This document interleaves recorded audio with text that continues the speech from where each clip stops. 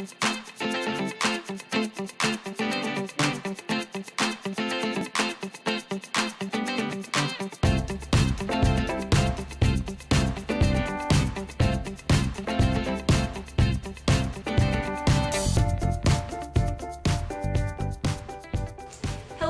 and welcome to my channel. What's up everybody?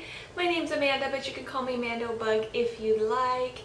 Links to everything, like where you can find me on social media will be in the description box below. So today this video I have for you is my works in progress. So starting out with what you guys have already seen before is Japan Sleeves by Joji Locatelli and I just bound off the bottom hem this morning.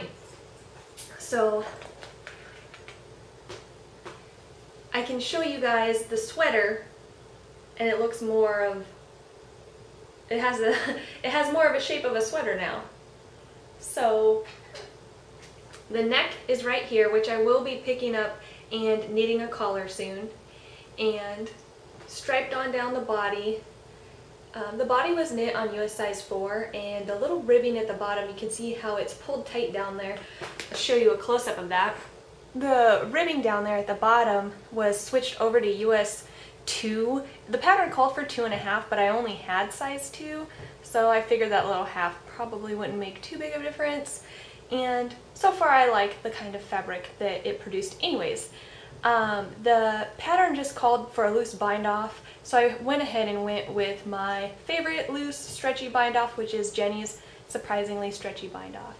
And I think that it was a good choice because it uh, looks nice and tight down there, but um, it stretches tremendously. So, and um, the cool thing about the, the bind off is I found that even if you do like stretch it out like this, if it were to go over my head, um, it doesn't completely stretch the fabric out because you can see it's still gathered down at the bottom. So it'll give a nice tight little fit around my waist, which my hips are bigger than my waist anyways, so um, I need that extra give.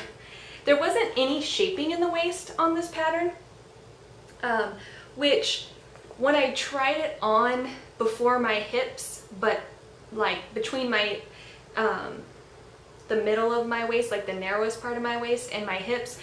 Um, when I was in between there during the try-on, I was kind of sad there wasn't waist shaping because I was like, I don't know if this is going to be very flattering because it's kind of boxy.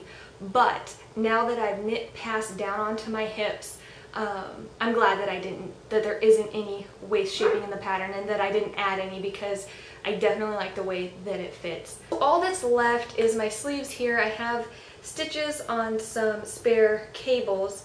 I have to graft those together and then like I said the neck. So it's very very close to being done and I'm really excited about this sweater.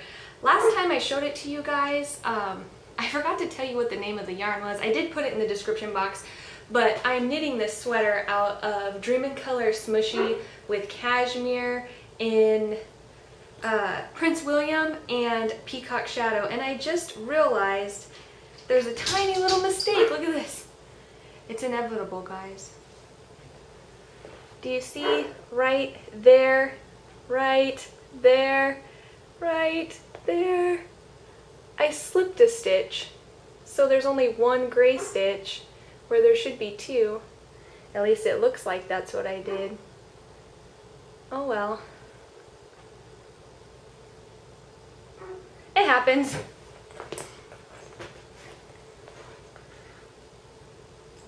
Also, I don't think I mentioned this is a pay-for pattern on Ravelry. It is not free, but it is very well written and it is worth the purchase in my opinion.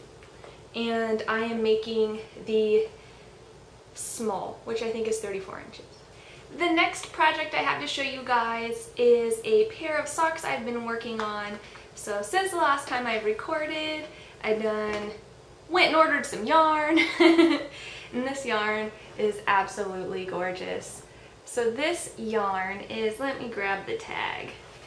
It's Lou Cookie Yarns and this is her Cookie Toes base which is 75% virgin wool, 25% polyamide superwash and it's 100 grams, 420 meters, and this is the colorway Apples and Pumpkins.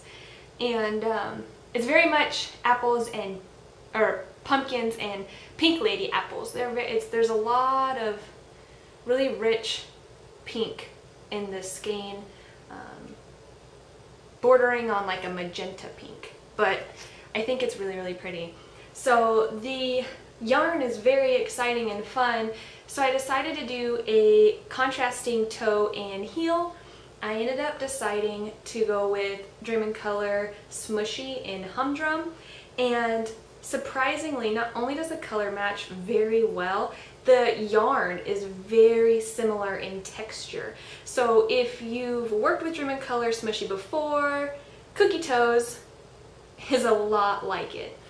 Um, the gauge I think is just a little off. I think Cookie Toes is slightly finer, but like barely, barely, barely finer. Like you can't really tell too much of a difference between the orange humdrum dream in color and the apples and pumpkin blue cookie yarn.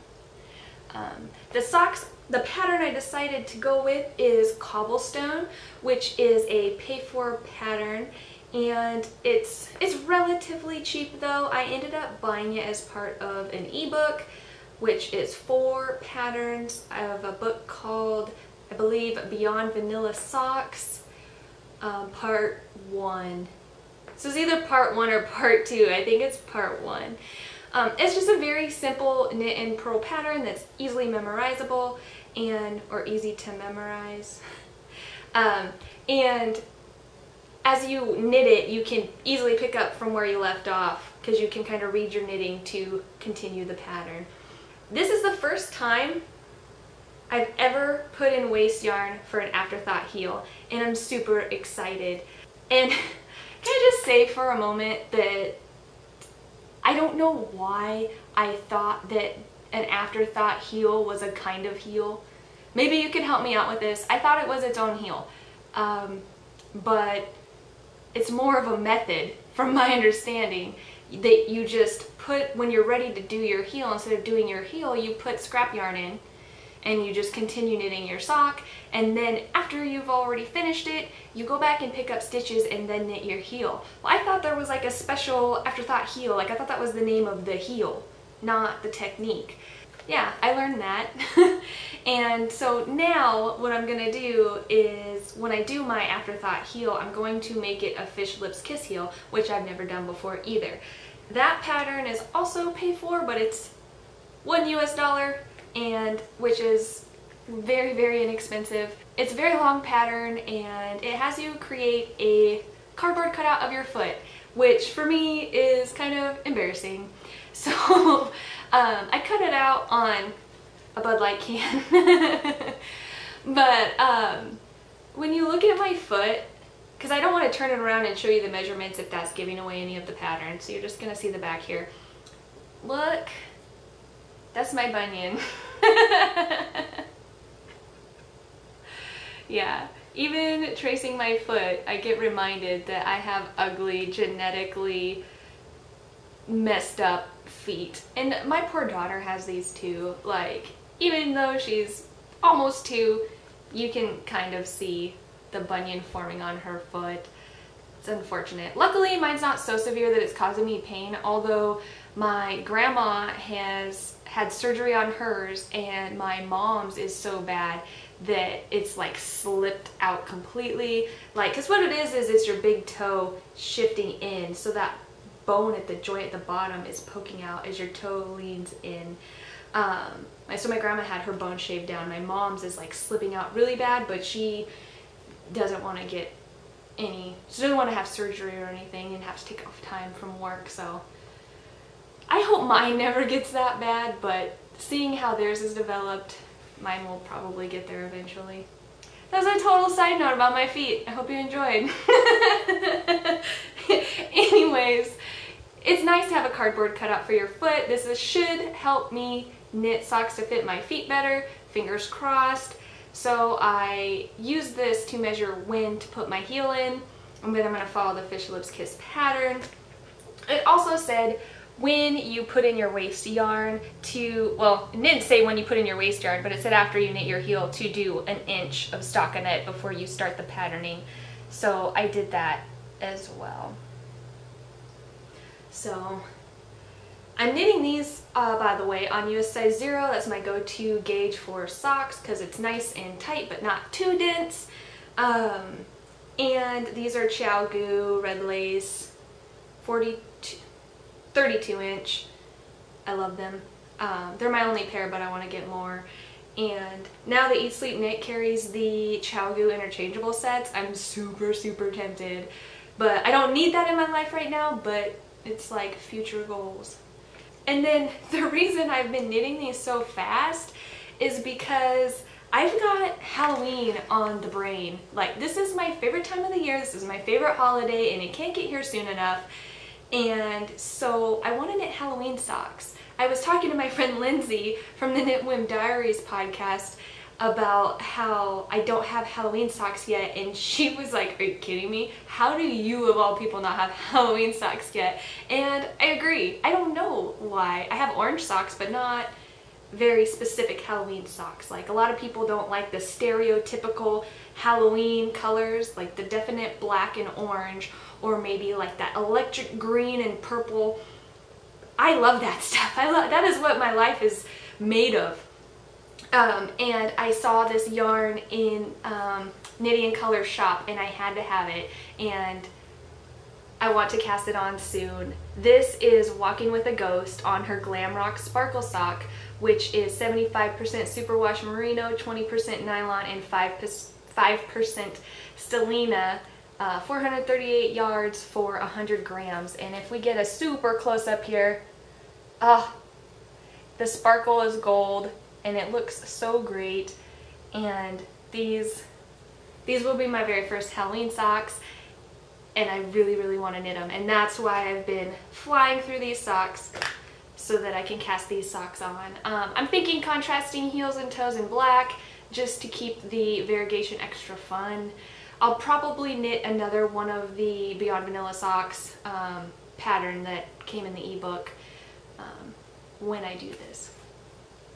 And then speaking of Halloween, you have you may have seen on Instagram if you follow me on Instagram um, I've been posting a lot of my progress of my cross stitch Halloween pattern that I started like two years ago. Still working on it. This is it. I'll take it out of the frame so you can see all of it in its entirety in case you haven't seen me post any of it on Instagram or if you haven't seen any of my previous videos where I showed it off. I do apologize if you feel like you've seen this a lot. Cross stitch is a very slow um, craft, so I'm not surprised if it's getting a lot of attention um, or repetitive attention.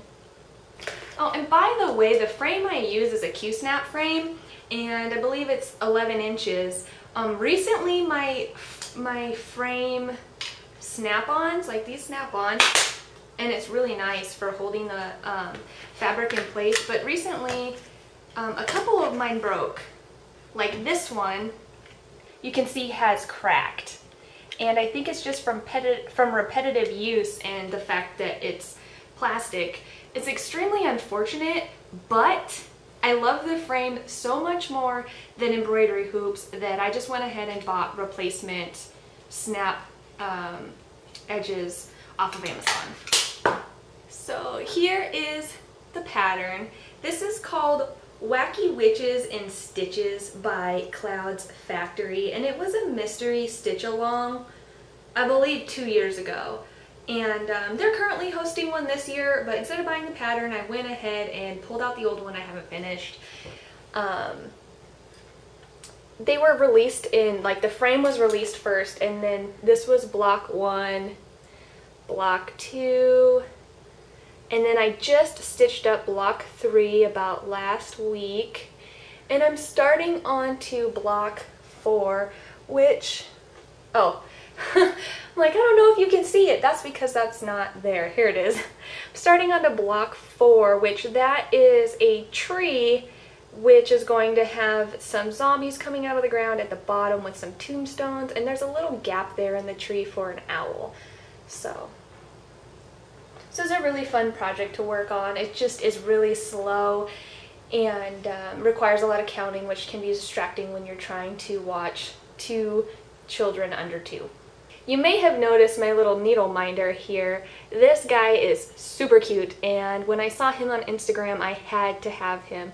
I don't remember if it was limited edition or not but I want to say that it was. Um, this is a needle minder from the Frosted Pumpkin Stitchery and it's just so cute with the sheep and the pumpkin in the yarn. It's just a cute mix of two of my favorite crafts. And there's the little magnet on the back. The only thing about having cross stitch with the needle minder on there is I have to put it up as soon as I put it down because I'm like terrified that my children could grab it and somehow get the magnet off and that would not be a good time. So um, I definitely, definitely make sure to put it up because like I'm the kind of mom that like the worst case scenario comes to mind and I just start worrying about things like that. it's better to be safe than sorry, right?